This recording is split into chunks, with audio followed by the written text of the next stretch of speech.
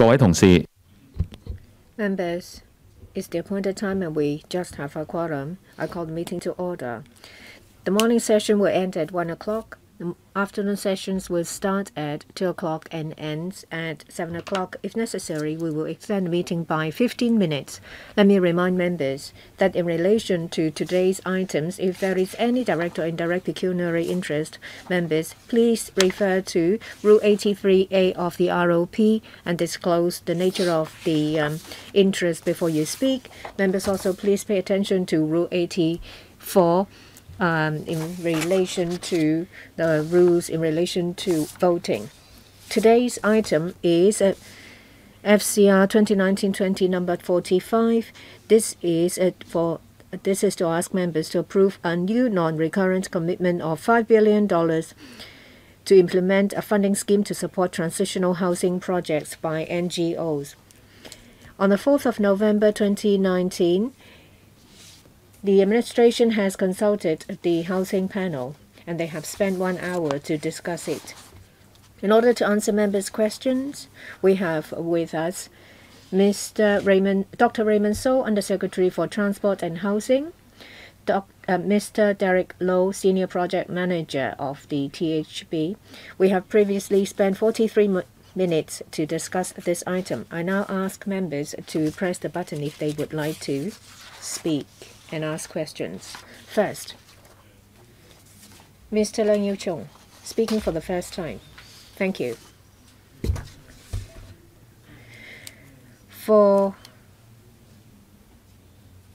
transitional housing, the government's stance is that they would ask uh, NGOs and community organizations to assist.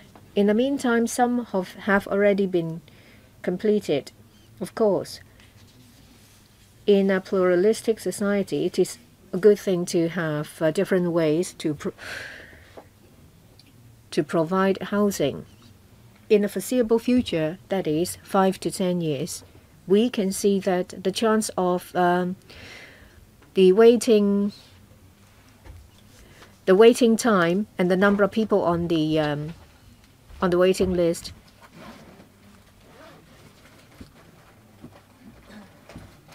reducing is quite small. Shouldn't the government bear the responsibility instead of shifting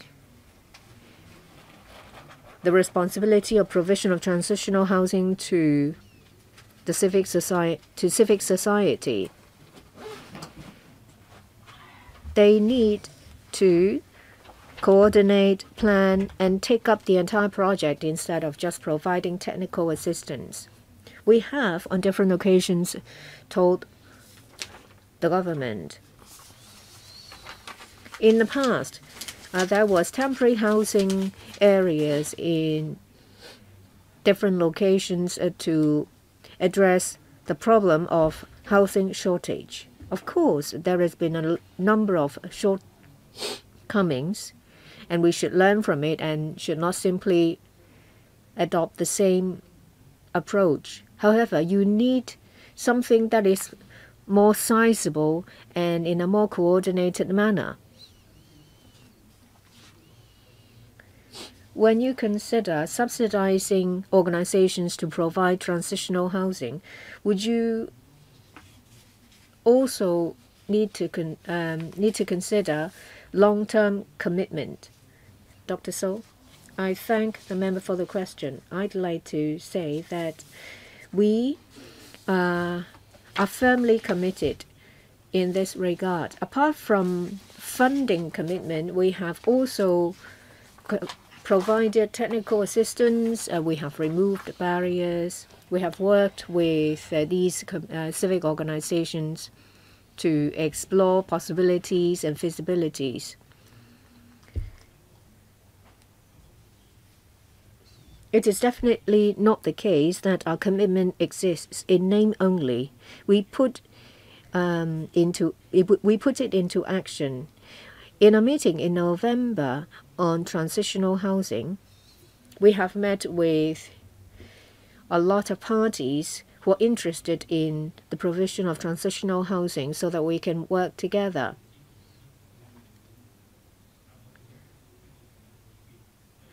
We have heard different views.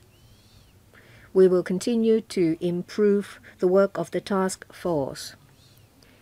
On a side note, I'd like to say that a lot of um, NGOs encounter difficulties when this item is approved. They only have to go through a simple application to get funding to engage consultants and professionals to better coordinate and plan the projects. The government will not just wash their hands after funding approval. There is an assessment uh, panel or an audit uh, panel.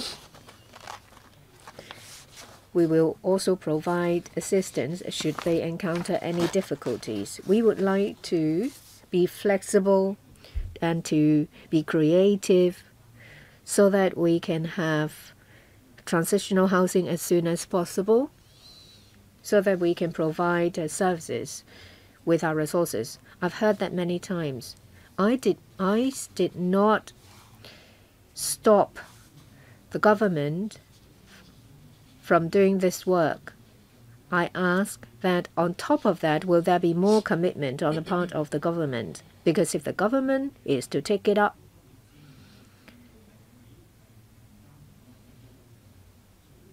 they enjoy an advantage over coordination and availability of resources. I only ask if you would reconsider it.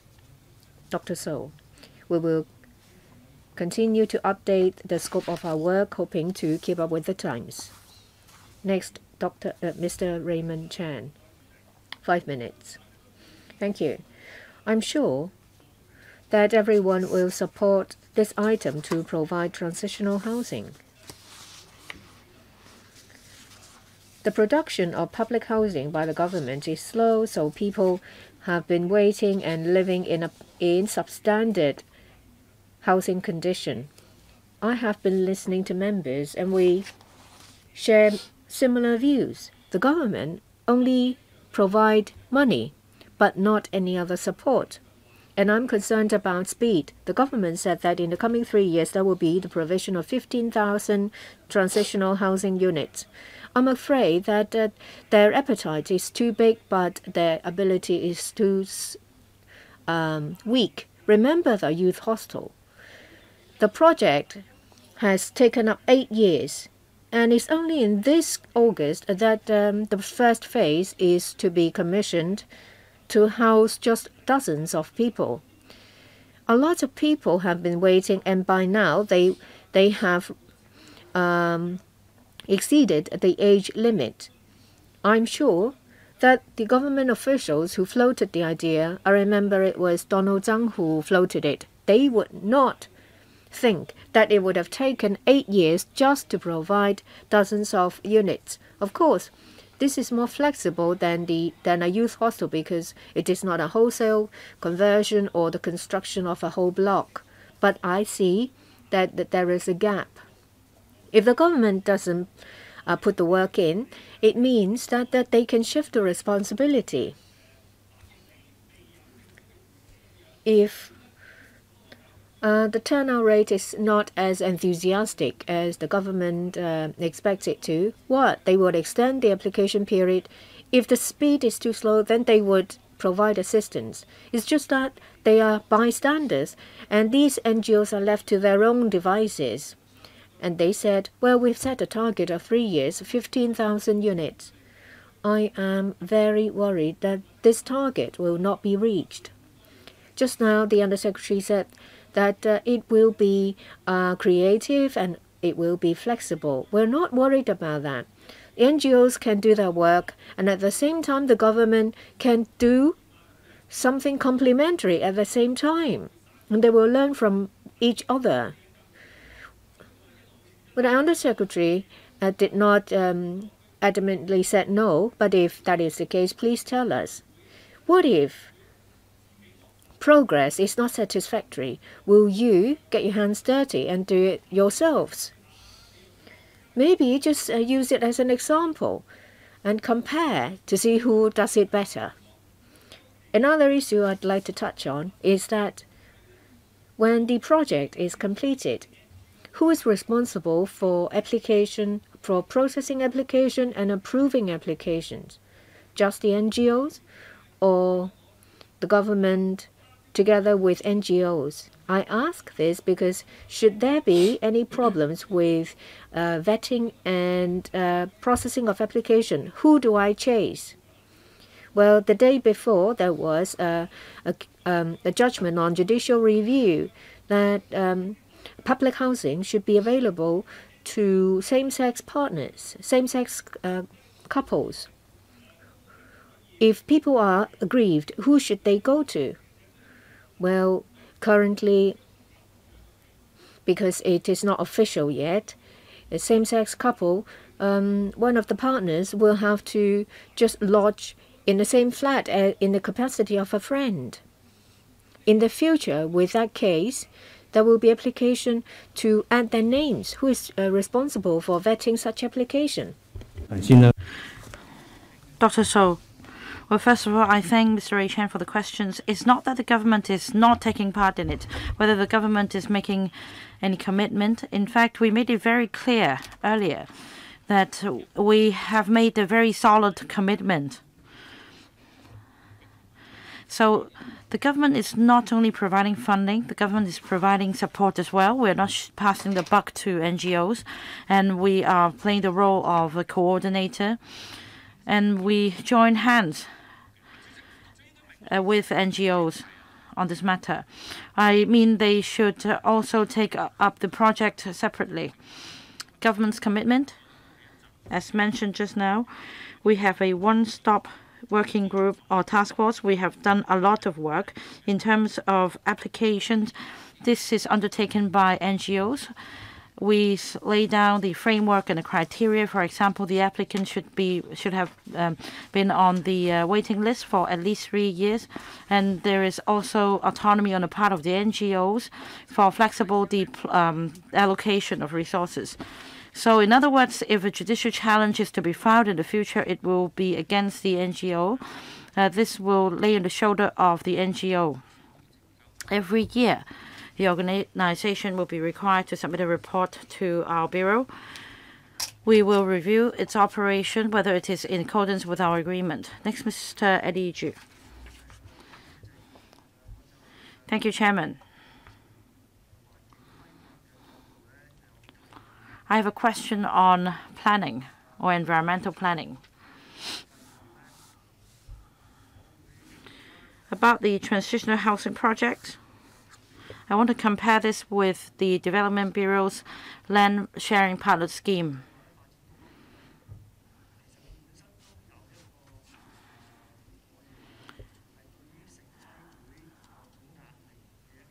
I think this scheme could put pressure on town planning board and the development bureau is going to set up a committee which will lay down criteria on whether the site is suitable for development.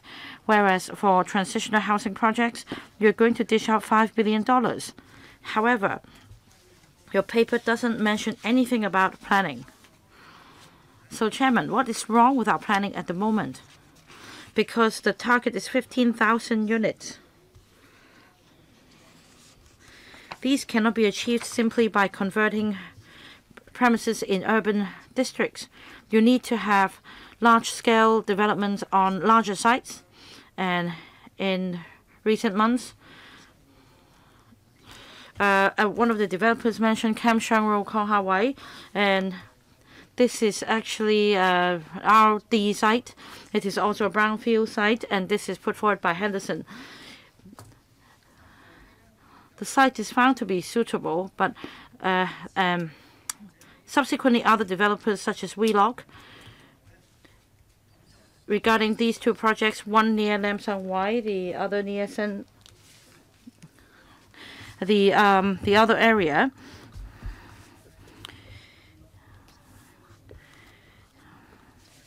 Well, some organizations say that uh, Henderson site is all right, but Wheelock and San Hong K sites are not suitable and that the applications have been rejected previously. And now, under the back, uh, with the backing of the Transport and Housing Bureau, these developers could get approval from Town Planning Board on the premise of developing transitional housing projects. And, a few, and in a few years' time, the sites can be released for residential developments. So my point is on planning. I don't think you're doing a gatekeeping role as the De Development Bureau under its scheme. You provide nothing but funding and then you just put a stamp on it and then you would help facilitate the town planning uh, application. Project Director, Mr. Stephen Wong. Mr. Eddie Chu referred to land and planning matters in terms of the site in the new territories.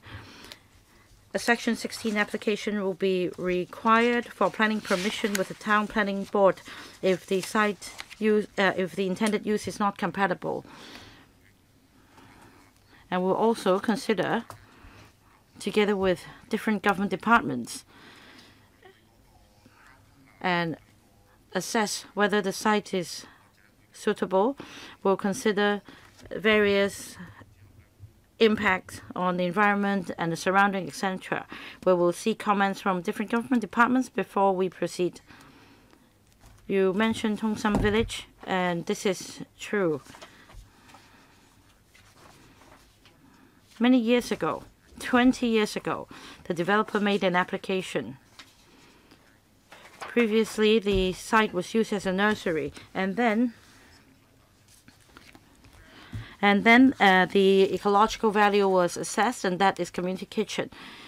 The site was not found to carry high ecological value because of the developments in the surrounding area. Hence, we support the project proponent in proceeding with the project.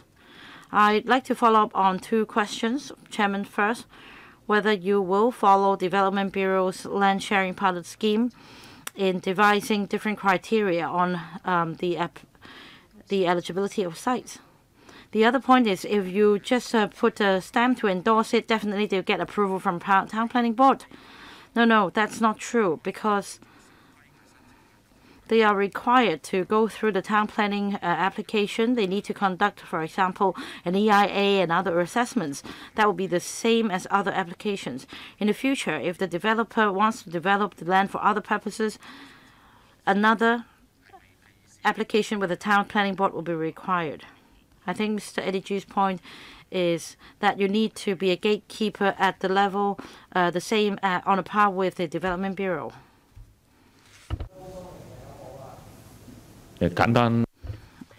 Uh, any reply to Mr. Eddie Chu's point?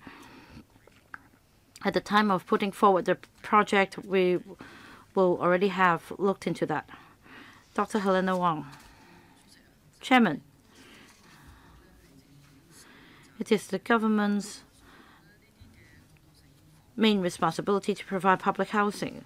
So it is said that $5 billion will be allocated for NGOs to take forward transitional housing projects. In other words, the government also have the means to undertake transitional housing projects.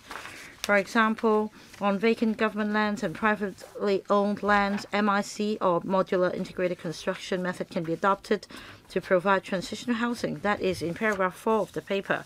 For example, we have the temporary quarantine camps in Lake recently, and again MIC was adopted. And then in just one or two months, we you managed to build 350 units from finding sites to providing temporary housing. I think this is the same idea. So if the government managed to build so many units in one or two months, why can't you undertake transitional housing projects as well? Can't you have a two-pronged approach? You can have longer-term public rental housing projects You can also have transitional housing at the same time, and you can also provide funding for NGOs to undertake similar projects so as to speed up supply. Because for NGOs, I suppose they would need to undergo fundraising exercise and also seek approval from various government departments. It would be a great challenge for them. On the other hand, if the government is really committed, the government could do so more expediently. Well, that is the third member asking the same question, uh, Under Secretary. The government is not shunning its responsibility. The way we fulfill our responsibility is to provide funding as well as setting up a one-stop uh, task force to undertake the work so that we can join hands with the NGOs. We have been in close contact with the applicants. We have had a lot of meetings. We iron out details before we proceed to the next step. So it's not really justified to say that the government hasn't made any commitment because indeed we have made a lot of efforts. Yes, I understand you've done a lot in terms of liaising NG with NGOs, etc. I'm just saying that the government could also undertake transitional housing projects. If you could, if you manage to build 350 isolated units in one or two months, you can say, for example, create a template for others to follow. So why don't you do it yourself? I think we need to be fair well, Dr. Wong mentioned the um, conversion of the holiday village into isolated or quarantine units is quite a unique example because we haven't taken into account the traffic impact, the neighborhood, other supporting facilities, environmental impact, uh, sewage, etc. Because we intend for tenants to stay there for only a short period of time, whereas for transitional housing, tenants will be living there for a longer time. They may we may need to consider, for example, the schooling of their children, how they get, uh, how these tenants get to work, etc. It takes a longer term planning. So that's a different set of consideration in terms of long-term housing supply. Undersecretary, of course, I understand that quarantine camp is only for short-term purposes. For transitional housing, again, the tenancy is like two years.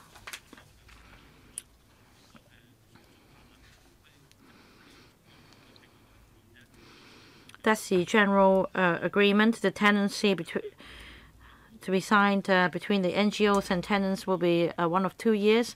As for future arrangements, it will be subject to the contracting parties.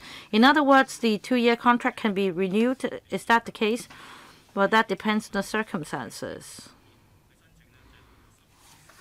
The general criteria is for applicants who have been on the PRH wait, uh, waiting list for three years, uh, and we want to provide uh, dignified housing for applicants whilst they wait for PRH.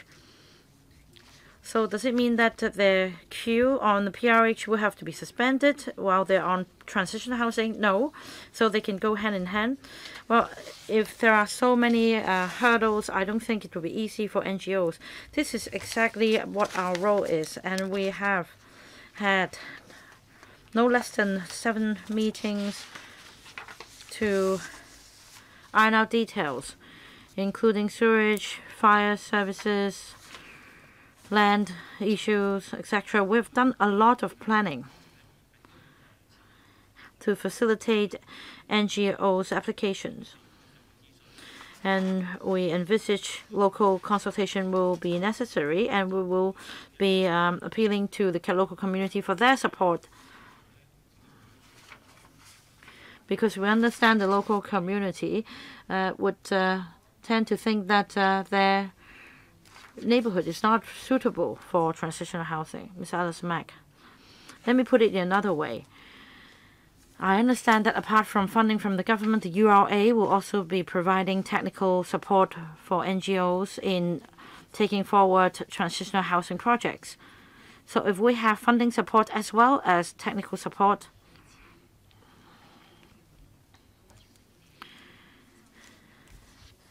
can NGOs build transitional housing units at the speed of um, of, uh, say, the Lei Park and Holiday Village quarantine units. Because even if you provide funding support and technical advice to NGOs, they can never compare to your speed of construction. From what I've heard, nobody is against the idea. We just want you to expedite the procedure so that we understand uh, we can also achieve the same speed of the Foshan uh, construction in Hong Kong as well for these transitional housing projects. Can the government uh, make a stronger commitment instead of only providing funding and technical support? If you say the NGOs can also uh, complete it in, uh, at the same speed, then so be it. Otherwise, we do expect the government to undertake these projects as well so that we can have a speedy uh, completion of uh, the transition housing projects. And the Secretary. I understand where these members are coming from, but we need to understand that, for example, for the quarantine center in Lei Yue Mun Park and Holiday Village, it cannot be compared because of the um, the, the location of the site and other factors. And for example, if we allow longer tenancies, we need to consider sewerage. It's not just about 14 day of quarantine period followed by some um, cleansing and for another unit to move in. We're talking about a family moving in for two years. They will be living there. They will need to work there. We need to consider employment and schooling. So that's a different um, thinking of planning we have. But we also understand members' concern on the speed of construction. That is why if we get your funding approval, this will be a very important topic in our further discussion on how we can compress the construction timetable and make it speedier. We have the first pilot project in Nam Cheong Street. This is the first model project, and um, there were some hiccups, but it is good that we could learn from this experience and try to make it quicker next time. we try to standardize the uh, transitional housing projects in the future so that we can share the same, say, drawing and design to speed up construction. Uh, we, it involves a lot of technical details. Sorry for interrupting because you have taken up most of my time. From what I heard, we can't expect NGOs to adopt the same speed as uh, the one in the production of um, quarantine center at Lei Yue Mun Holiday Village. Well, if there are so many problems as listed out by the, the undersecretary, say for example sewerage, then we can't help but think that the government will be in a better position to overcome these obstacles because they have the they have the skills and the resources. Back to this funding application, of course, I will support it. I don't think many people will oppose to it. Even with the funding support to NGOs to take forward the transitional housing project, the government should not just help by providing funding and, and um, technical support. They should get involved as well because the two are not mutually exclusive. They can coexist. Dr. So, I heard numerous uh, comments from members. We will listen to members and at the same time we will compress the process to speed it up. Next, Mr. Edward Lau. I believe that uh, everyone sitting here will support this proposal in order to alleviate shortage of public housing. If there is land suitable for transitional housing, because as I heard there are some requirements that means that the land is suitable for housing. because it meets the requirements for um, housing people there uh, with transportation network. Maybe it's just a matter of process that the, the site cannot be turned into spade ready land for permanent housing. For this kind of transitional housing,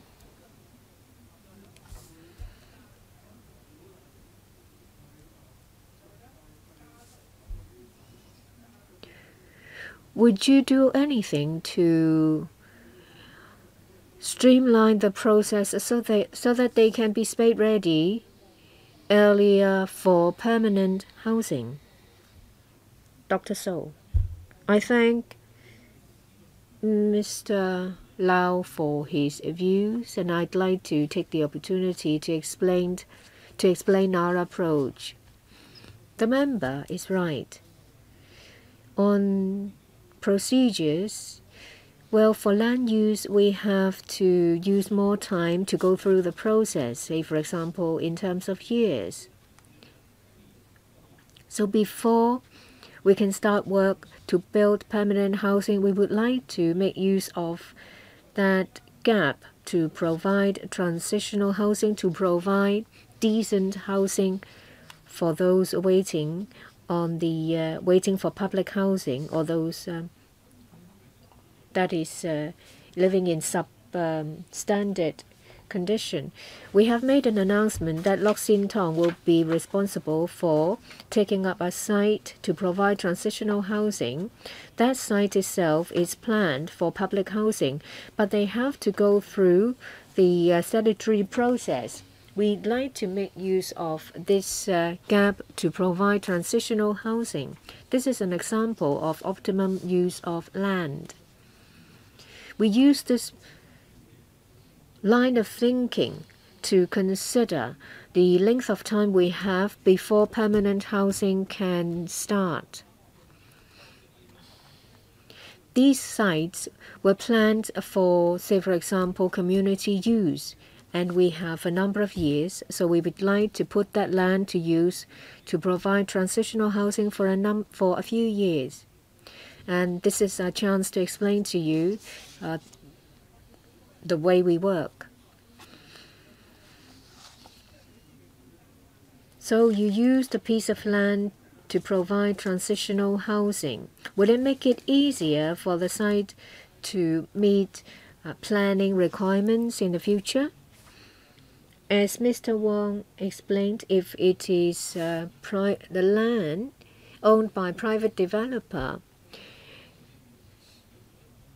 it will not help these uh, developers that they gave uh, that they loan the land to NGOs for transitional housing in the future application. It's just that since it takes time to complete the statutory process, we may as well put the site to better use. So there is no chance that there will be any transfer of uh, interest to private developers. Thank you. Well, just now the Undersecretary talked about working together a number of times. So you ask a non-profit making organization to NGO, I think that uh, the resources are mismatched. They provide service. They identified the underprivileged to help them that can be achieved. But how do you support the NGOs to address the difficulties relating to housing production?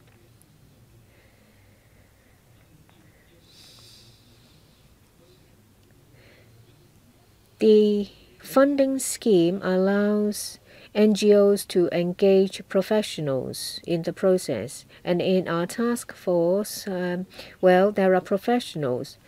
The commissioner itself is also a professional. They will work together on feasibility.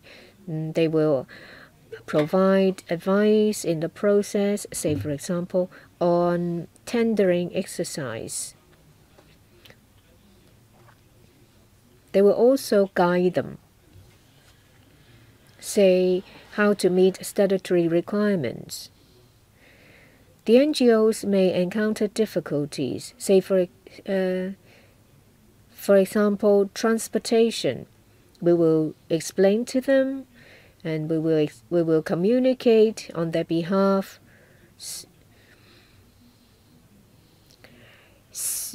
Say by telling them that uh, the site will not provide parking spaces so they will not add to traffic burden. So we work work together with them to overcome these difficulties. Mr. Wu Chi-wai, the more I hear from the Undersecretary, the more confused I am.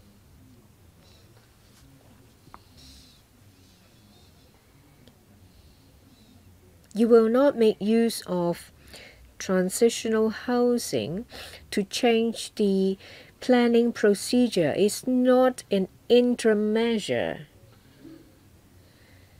From what I heard, you seem you seem to have turned this into an interim procedure. Say it is a school premises. It is a school premise, then they will have to apply for a permit from the planning department. They can't simply change the land use to accommodation and housing, yes or no. For existing non-residential building, if they are to be changed to residential, then they will have to go through the proper process, whether it is an industrial building or a school premise. If a process has to be completed, from what I understand, that it will take a very long time, and it still will not be completed. If you want to use an industrial building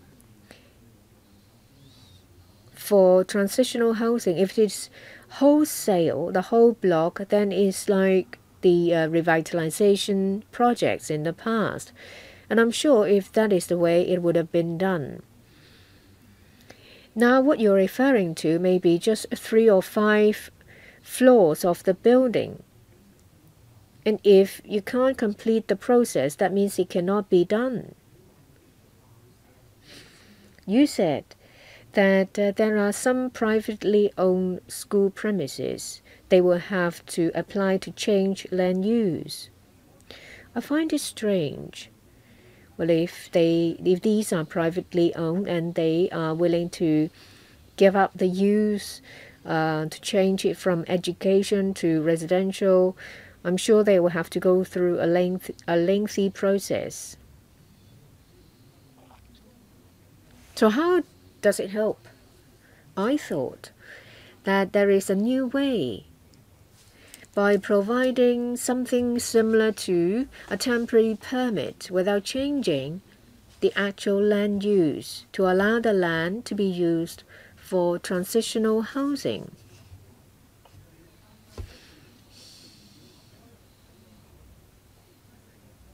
If that cannot be changed, then it's back to the starting point the process itself is lengthy.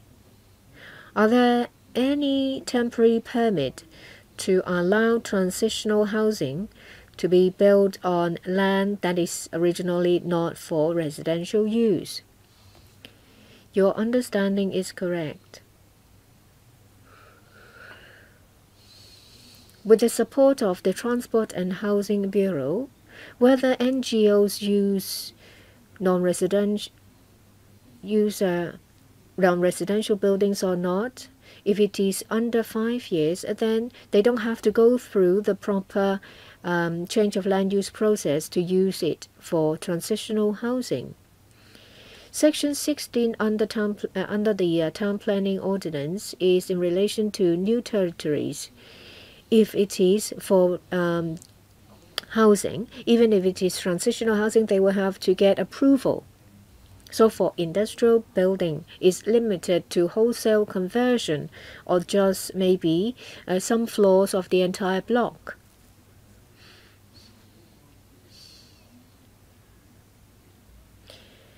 It should be wholesale conversion. If it is just partial, it can be done. It's allowed. However, uh, the entire it will it will involve the wholesale conversion. I don't understand.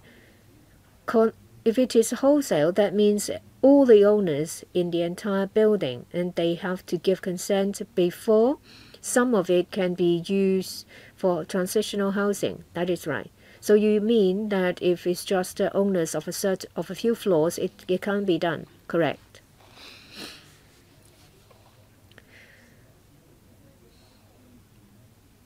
From what I heard, if it is conversion of industrial building, it involves uh, some limitations on uh, lighting, natural light. There are limitations. Are these limitations waived to enable these applications uh, to succeed?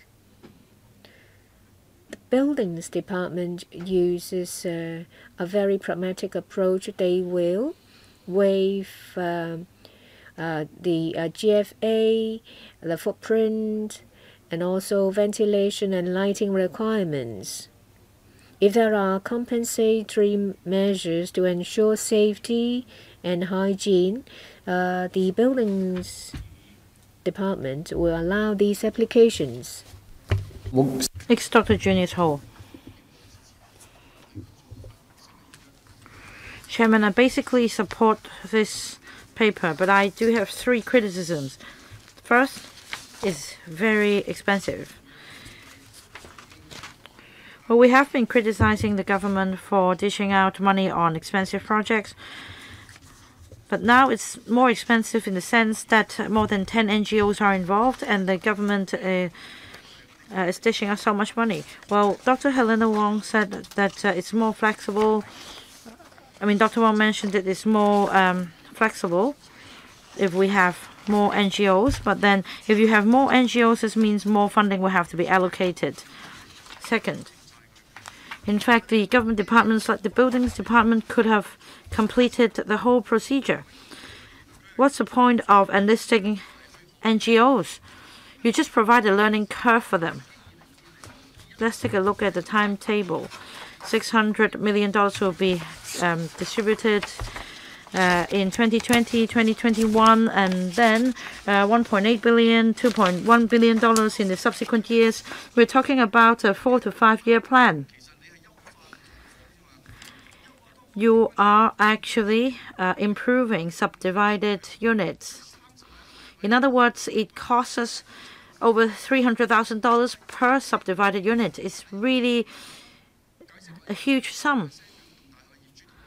And then you also mentioned that you need the uh, unanimous consent from uh, title owners of the building before the building the units can be subdivided. How can NGOs be more flexible than the government itself, given the NGOs are not professionals, engineers, etc.? I don't see how it can be flexible or how the, the uh, timetable can be compressed. You want to enhance the SDUs, and this takes three years. It's very irresponsible. While you allocate $5 billion for these projects, it's getting uh, such low efficiency. Now, I know we really need to look after families living in subdivided units. I really want to do it 32A because if you have spade-ready sites, brownfield sites, if you want to provide housing, it takes nine years, and for North Lantau, it takes you 13 years to complete construction. Last time, Under Secretary, I already mentioned this point. In Mr. James To's motion, he referred to how how land should be enhanced to provide transitional housing. And back then, uh, I already made this suggestion. In Lok Ma Chau, you have spur line, you have the infrastructure ready. You can just um, resume fish ponds and other sites to provide some kind of temporary housing.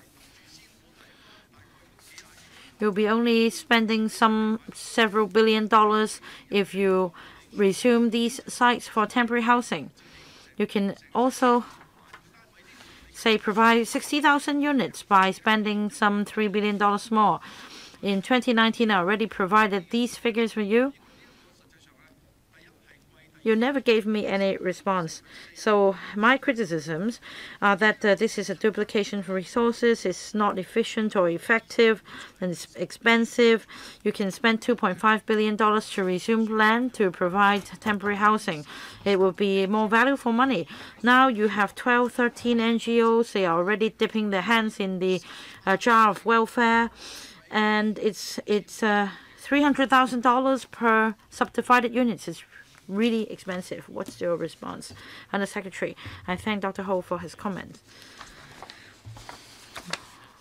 Well, we mentioned, say, $550,000. Um, uh, we refer to the construction of um, transitional housing on a vacant site, and the cost also entails other aspects of work, such as uh, provision of infrastructure, sewage, site formation. The PRH construction cost is 800,000 per unit. We believe that uh, this uh, $550,000 is reasonable. As for converting existing residential units, the refurbishment cost is capped at $200,000. This is the ceiling. This is not the actual cost. As for land resumption, we've heard the Dr. Ho loud and clear. Dr. Priscilla Leung. Chairman. I have a question for Undersecretary. Under this $5 billion transi transitional housing funding scheme, do you have a long-term objective?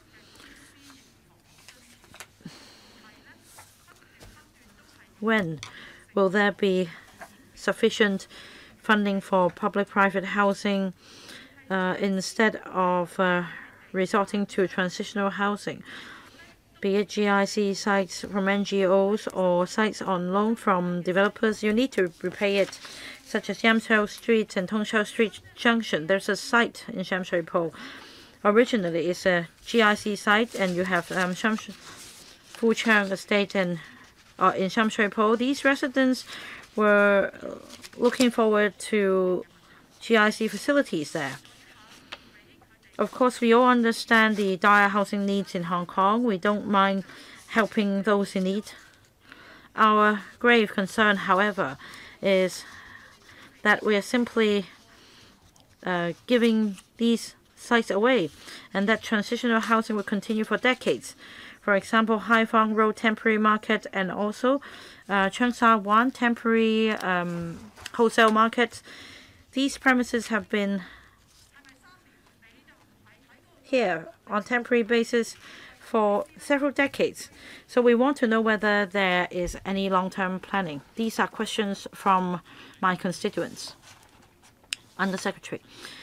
Thank you, Dr. Priscilla Leung, for her questions. We need to emphasize that transitional housing projects are only taken on vacant lands or, or, or sites that are in the process of undergoing long-term planning or statutory procedures, and we are making use of the opportunity in the interim to provide transitional housing for GIC sites.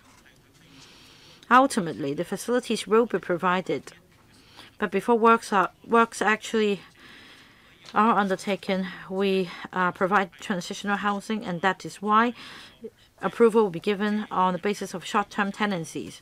It is not the case that the site will be permanently owned for that purpose, because after the lapse of the land lease, uh, a fresh look will be uh, taken uh, at those sites. And what happens then depends on merits of the case. If well, a flexible approach will be taken, the policy objective is very clear. The objective of transitional housing is to help families living in unpleasant conditions and those who have waited for PRH for a long time. The policy objective is very clear. We provide dignified accommodation for these groups of people. Once we have adequate housing supply and once the PRH production target can be met, the historic mission of transitional housing can come to an end. Right. uh, you put it very nicely, Under Secretary, that we all know that it's utopia if you say that one's uh, housing supply is adequate. I am very concerned about the term transitional. Can you make a promise here?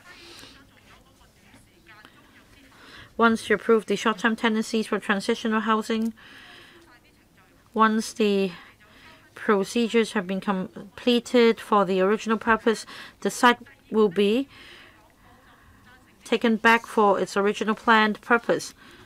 Second, I don't agree that we should be over reliant on transitional housing as the first rung on the housing ladder, because after all, the living condition is unpleasant uh, as well. We used to have tin roof housing in the past.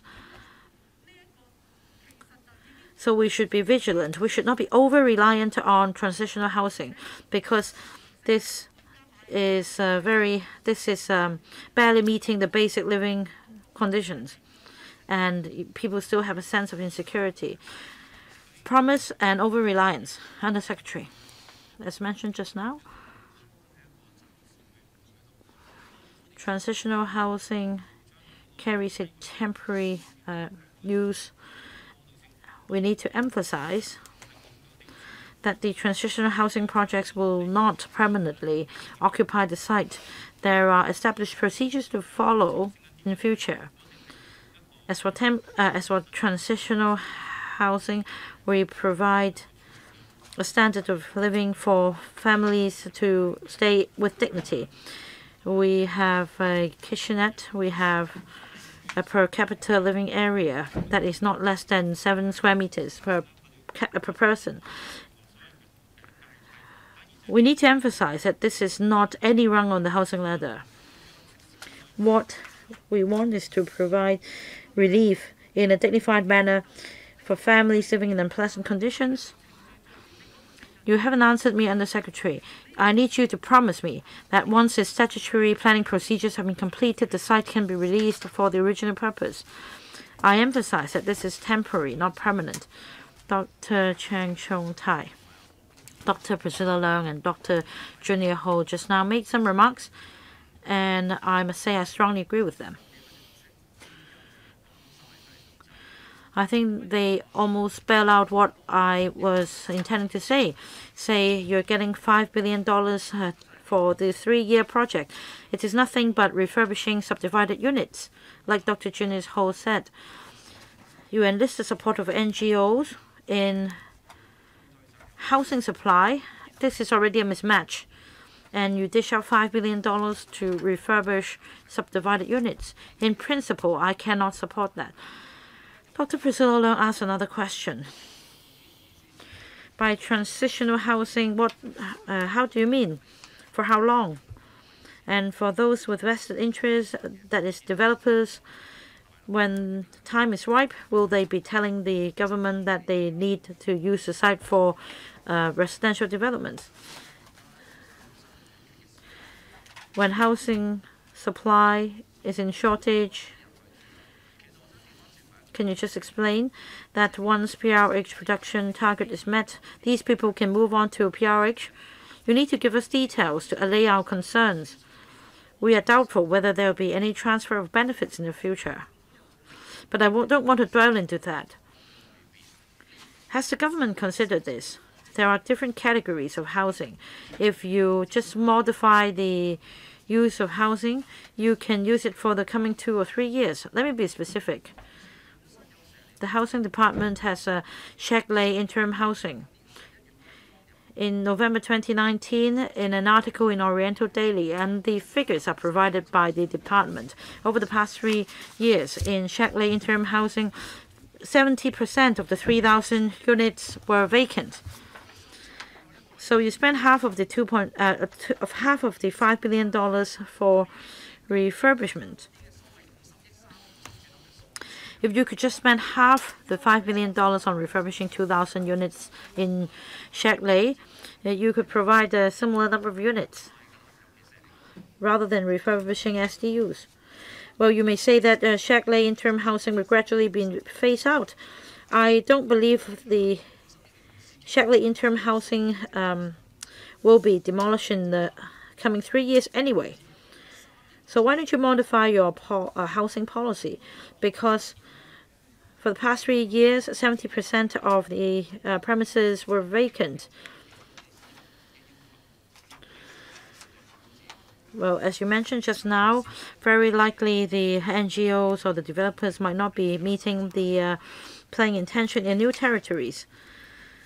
So why are you instead dishing out money to uh, improve subdivided units? Under Secretary, I want to emphasize, first of all, $5 billion, $5 billion will not be spent on refurbishing or improving SDUs. $5 billion will be spent on building transitional housing on vacant sites and refurbishing, say, aged buildings to provide dignified accommodation for needy families. Uh, or on structures for domestic purposes.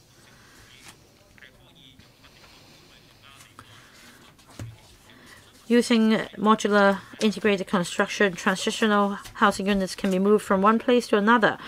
So um, we have a horizon of 10 years, not just three years. This misunderstanding should be clarified. In relation to Shek Lei interim housing, we plan that in 2022 we will um, change its use. So there we see that uh, the structure of uh, such interim housing has seen inadequacies and problems. So we should not continue with this regard. So we need a new line of thinking. Say redevelopment of Pak Tin Estate. We use we first use uh, renovation of uh, in situ plans in in situ units for those on the waiting list so that later they will be able to be resettled in the same district. For Yue Kwong Estate, the Housing Society has made use of redevelopment to provide housing on a temporary basis. So we have thought out of the box, and this is information for you to know. Mr. Shiu Ka-chun, speaking for the second time, for four minutes. Just now, the Undersecretary said that they have uh, thought out of the box. But apart from that, I don't see anything new and innovative. They talk about targets, prices, planning, the transfer of business, prices. The Undersecretary keeps saying that he's heard our views. Can I ask you, what questions or problems have you heard for the first time? On a number of issues, your role, your um, uh, coordination, we have identified a number of problems, but the Undersecretary has been saying uh, nammy-pammy things that we, we should work together, heart to heart. Um, uh, we should um, work together. But do you really want to be so close physically to us at this time? I would like to ask some questions about industrial buildings.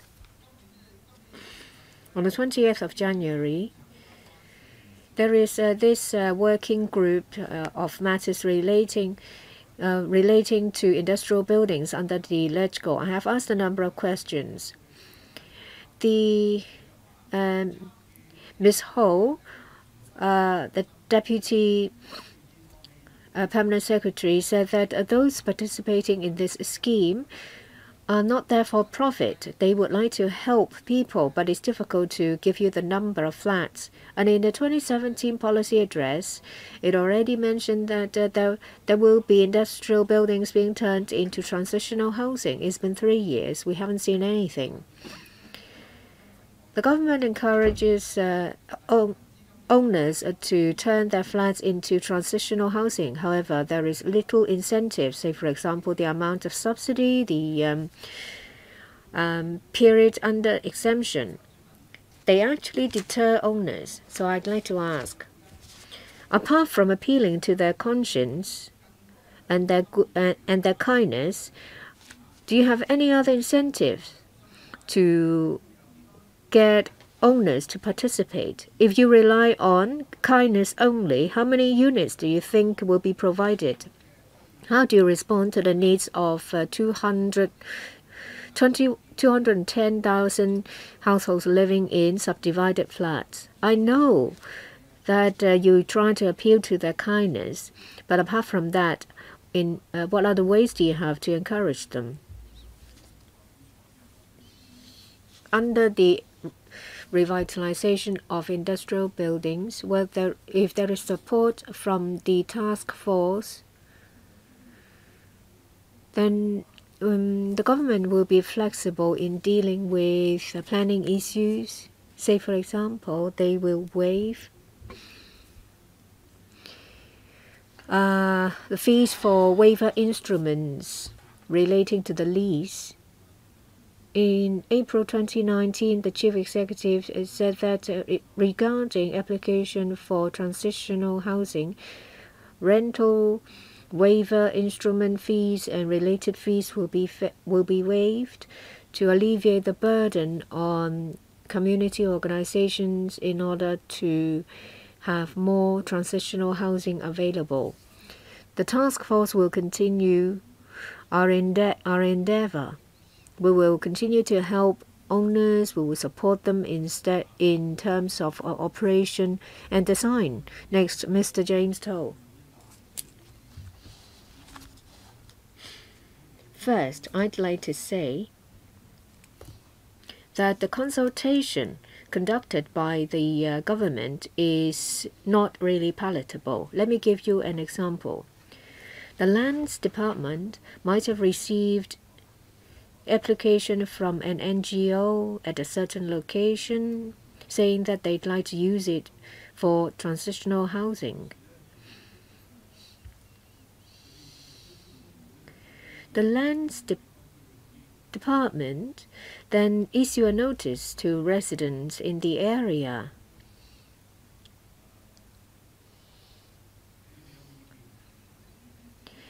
They're asked to, if they have any views.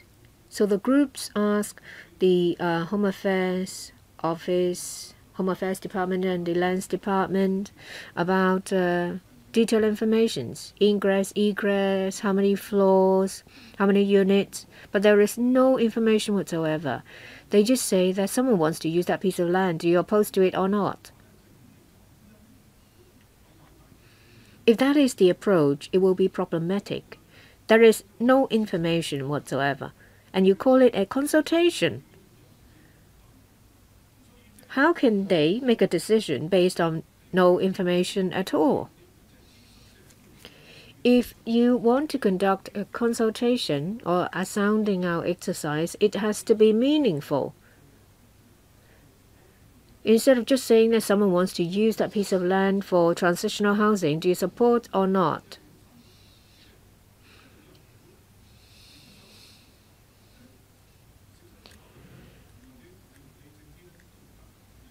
You stop people from carefully or seriously consider as considering the uh, the project. Someone said it's uh, Mr. Hall has made an actually made a an actually good point. You don't consider take uh, acquiring agricultural land, or you have actually considered it only to find that it is not cost effective. If you're thinking about timing, if you say that, well, for some sites it will take longer, it may take a few years, then maybe you should put them in a pipeline. The land's yours once acquired. You will have more control instead of relying on developers to loan it for you for just a few years. It's not Lego pieces. But you can move it around. Lam Cheuk Ting said, well, if it's something that is modular and you can move it around and you're supposed to use it for a long time, you need to consider these factors.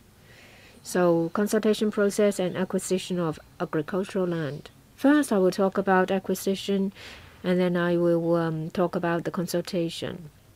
Acquis land acquisition is complicated. Mr. Ho mentioned about a suggestion. It was floated last year and we considered it. We've been looking into the feasibility. On consultation, we will consult every district council on every project. We also work with the civil organization to conduct briefing sessions about the, the conceptual plans and details of the project. I think it's a matter of uh, order. The Lands Department will start the process off, and then the information will be given to different groups asking them if they oppose to it, but there is no information available. And you give them two weeks and ask them to give you an answer. I don't think they will find it palatable. For a project, you will have to start off with applying for a short-term tenancy. When an application is received, the lands department will um, will publish basic information for uh, people in the area to understand, and then in the next stage, there will be detailed consultation with the district council and we will collect views and then uh, modify our plans. So there is detailed consultation at a later stage. Sorry, speaker is off mic. Please switch on Mr. To's microphone. Can you maybe tweak the order a bit? We'll work, we will uh, look into it with the lands department. We have to we have to uh, conduct a consultation, but we will liaise with lands. Next, Mr. Rebecca Chan, thank you. I support the government. They would like to use transitional housing to help people. It helps people living in su subdivided flats or those living in appalling housing conditions. Perhaps you can remind forgetful members that on the 30th of April last year, in uh, in a subcommittee of um, following up on um, inadequate housing, we have actually visited one of the transitional housing projects. Mr. Vincent Cheng, Mr. Uh, Andrew Wan, and I only three of us went there. It was a Lok Sin Tong a social housing scheme. We went there and we saw people using uh, who used to have to sleep on the floor being resettled uh, to the one run by Lok Sin Tong and they have their own bedroom and they have their own kitchen and bathroom. If members are not clear about it, they may, maybe should ask the undersecretary to, for, to, to arrange for another visit. We have also visited uh, somewhere in Kowloon City. It's been left idle. It's quite old. But with simple refurbishment and renovation, it can house those living in subdivided flats. There are indeed some old buildings and in the Lok Sin Tong Primary School in Kowloon City, we live we have visited that location. That primary school is quite spacious. It can be turned into housing. Each classroom can be turned into two housing units to help those living in subdivided flats. So I support transitional housing to help those who are paying hefty rent and those living in subdivided flats. I have mentioned many times in different uh,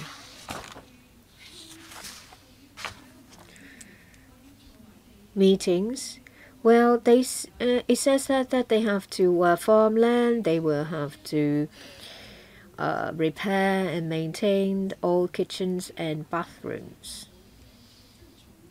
How do you ensure that NGOs can actually succeed? I, I've given you some examples using old buildings and old school premises. It's uh, very easy, you only have to convert it but if you ask NGOs to maintain slopes and farmland, I think it's too much. You need to make sure that these projects are feasible for the NGOs. And in paragraph 9, you said that you expect rental for these for this type of housing is low.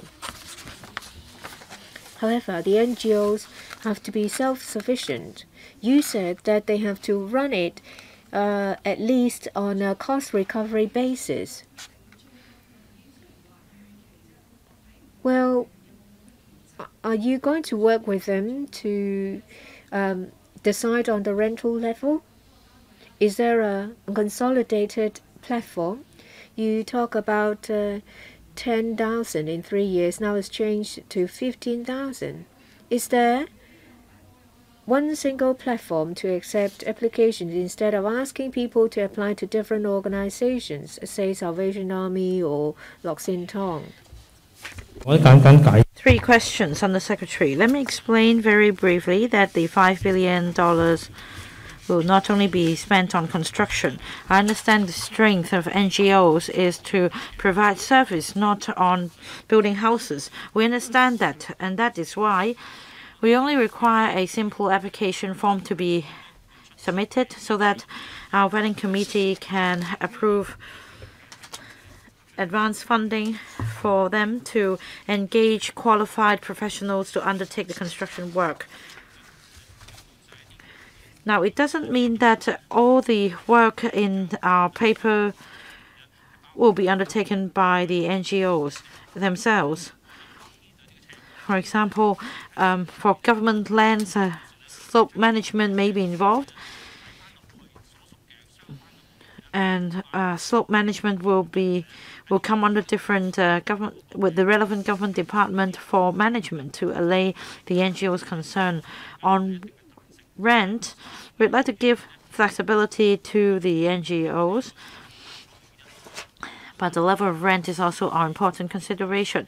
For example, for the social housing scheme undertaken by the uh, SOCO, it's 25% uh, or, or the upper level of the rent uh, rental allowance will be adopted. From existing statistics, rent level accounts for 29% of the income of tenants. This will be set as the benchmark, and we also understand the views of other members. We will consider them very carefully. Mr. Alvin Yeung.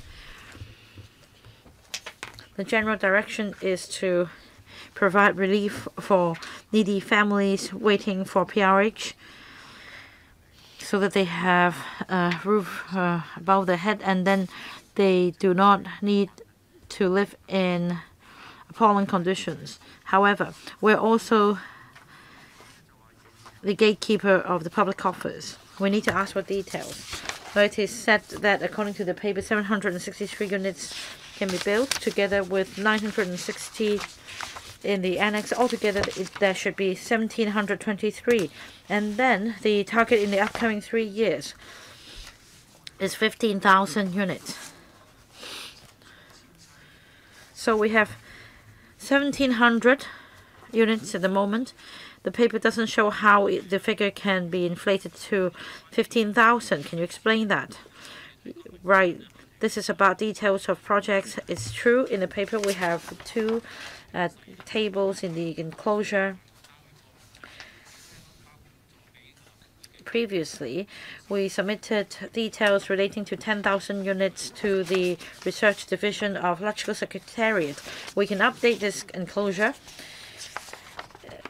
it includes the projects already announced, community kitchen, for example, in Kong Ha Wai. Altogether, we estimate that 10,268 units can be provided. In January, the government announced that 5,000 additional units will be built. And in other words, they can be built on GIC sites. As for the exact number of units to be built, the progress, etc., we are in the process of conducting a study, but we do have the resolve to meet the 15,000 unit target. Chairman, does the government mean that in this $5 billion funding application, the purpose is to meet the need of the, uh, you know, meet the target of uh, 15,000 units without a concrete plan? Just 10,000 units. Oh, just 10,000 units. So will there be uh, extra funding application for the 5,000 units in the future? We have made it very clear that if need be, we will follow the established procedure and apply for further funding. I know that as well. Why don't you ask the lotteries fund? And anyway, I don't want to dwell on the point. There are other specific questions I want to ask. Uh, for example, I have another project and I have received inquiries from my uh, from the residents in my constituency. I understand that the hostel has been rented to an NGO uh, for a few years, and then the site will have to be will have to go back to the MTRCL. This is Trackside Villas, staff quarters. You are renting these units out at a very low level. But I want to know whether it is in line of public interest because you're spending tens of millions of dollars to refurbish the quarters, and then in a few years' time, the quarters will be given back to the MTRCL for making a profit. So I want to know whether public interest is justified or is it that if you can find a dilapidated building, the government will fund the refurbishment and then a few years later the developer or the owner can take it back? You mentioned Trackside Villas, and it is true that it is one of the MTRCL staff quarters with very low um, occupancy rate. So it can be used as transitional housing but it's clearly spelled out in the paper that uh, each unit will only receive a subsidy of $200,000 max. We do we perform our gatekeeping role very stringently. We adopt a no-frills approach in refurbishing units. Trackside villas at the moment um, is vacant.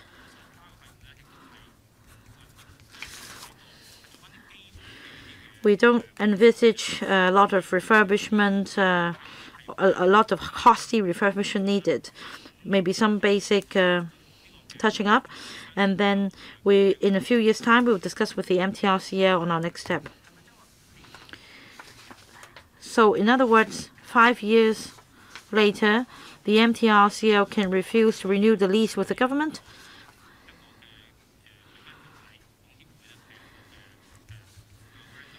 The MTRCL has signed a memorandum with the housing society, not with the government.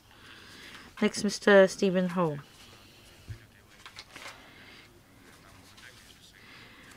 I've heard views expressed by members.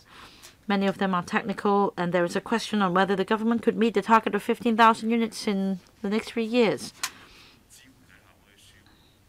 Of course, we would like to provide relief to needy families by transitional housing. But I think the government is being too optimistic. Because in the current epidemic and the current social atmosphere, if there are still social unrest, definitely progress will be delayed. So I want the administration to explain to us, first of all, the impact brought about by these factors. And there are also other problems because some other interested parties will have a different say on the matter. Um, for example, residents in the neighborhood, if you've done the local consultation, will find that uh, there may be divergent views. For my constituency, on the face of it, uh, the project should be welcome. But say if you have transitional housing situated on brownfield sites or near uh, farmland, they are concerned whether uh, some developers which have hoarded land would ha will, find, will file town planning applications later. Well, take a look at the UN headquarters. There's a site nearby, and at a nominal fee of one dollar, the site was given to uh, the uh, owner, and then ultimately the farmer made a huge profit, and our farmers are concerned whether prices will be jacked up such that the industry's development will be affected. Agricultural land is a scarce resource, and we're very concerned. On many occasions, we have been asking the administration to make proper planning and for farmland to be uh, reprovisioned. And the government has been dragging on its feet, and very often the administration faces objection from the agriculture industry. I do think there is a uh, an expectation gap if the target is 15,000 units. Thank you for the questions. In terms of social incidents and the epidemic that we're now facing, whether this will have any impact on our work, and also whether transitional housing arrangements will affect other land users Well, our understanding is that we have the epidemic and social unrest. The epidemic may carry on for some time. So combating the epidemic outbreak is our top priority.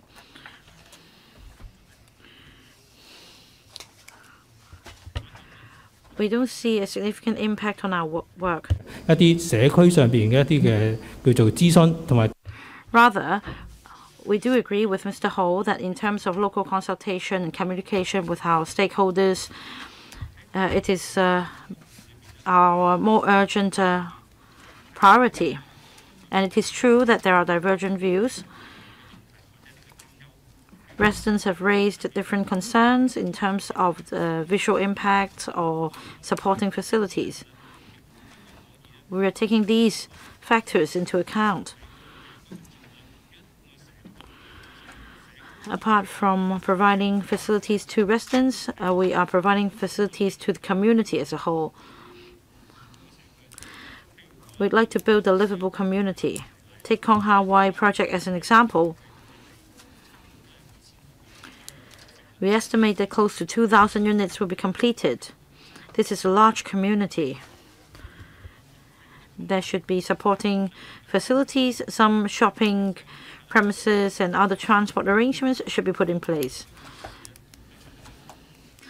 So uh, we do liaise with the local community so that they understand that we are not just uh, building residential units there. I hope that uh, Undersecretary will answer my last question, whether land, pri land uh, prices nearby will be affected and whether developers will use this as a pretext to submit town planning applications in the future. Every land permission application stands on its own and transitional housing uh, will not be used as a justification. Well, the morning session is supposed to be adjourned at 1 p.m. So after Dr. Lo Wai Kwok, we will take a break, and uh, those members following him should ask after the break. Dr. Lo Wai Kwok. I'm in strong support of this paper, that is, funding scheme of uh, $5 billion to support transitional housing projects by NGOs to resolve the housing problem in Hong Kong. The easiest solution is, of course, to develop land for public housing as well as private housing and other activities which also require land.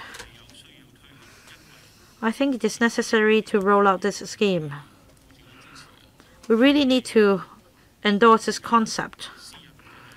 If we have vacant private residential buildings or vacant government facilities,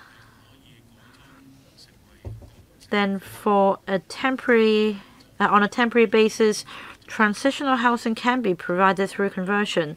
We should expedite this. We should support this. According to the paper, on vacant government lands and privately owned lands, modular integrated construction method can be adopted to provide temporary housing units. We should support it. I need to briefly explain it to the audience watching our webcast on TV. The method is called Modular Integrated Construction or MIC. There are a number of sites adopting MIC at the moment, namely quarantine centers. The day before and yesterday, I went to four of these sites, including Lei Yue Mun Park and Holiday Village Quarantine Center. The first phase, comprising 118 units, have been completed in just a month's time. It's now ready for use. The other is Sai Kung Outdoor Recreation Center and also J, uh, Junior Police Call Permanent Activity Center in Pat Heung and also Penny's Bay. There are different characteristics of these sites. For Penny's Bay, for example, the site is vast, but in terms of infrastructure and development, there are still a lot to be done. Um,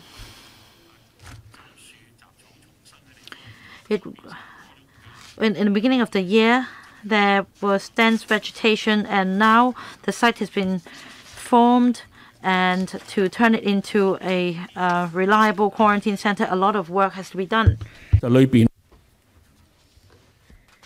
In short, these units are container units, but there is separate uh, kitchen, bathroom, air conditioning, and furniture.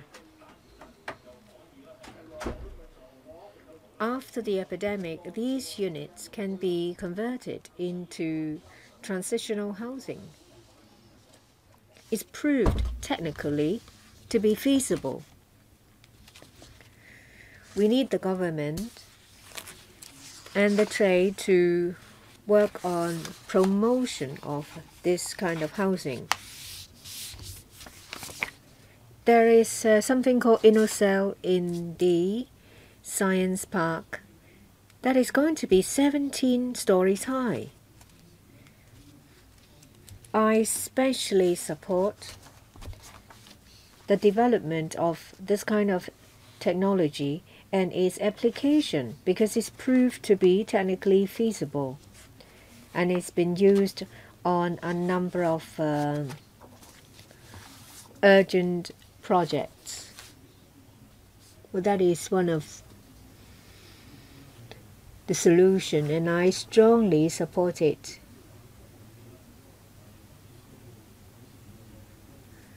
This